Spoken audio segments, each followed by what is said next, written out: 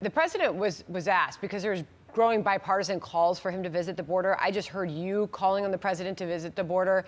Uh, he was asked about that by our own reporter Peter Doocy, and he responded that, that that there's a lot of other things that he needs to do right now. That this was not a priority. What was your response to that, sir? That's disheartening. That's disheartening to all the people who are here. I'm a Democrat. I voted for Joe Biden, and I'm pleading with him to come down here and illustrate that he cares of the people of South Texas.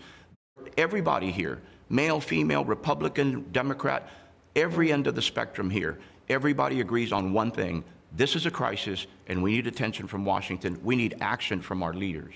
Would you vote for him again? we'll see. But I got to tell you, the Democrats are going to make a Republican out of me. Wow. It's a big statement, sir. Thank you very much for coming on to talk about this. We appreciate it.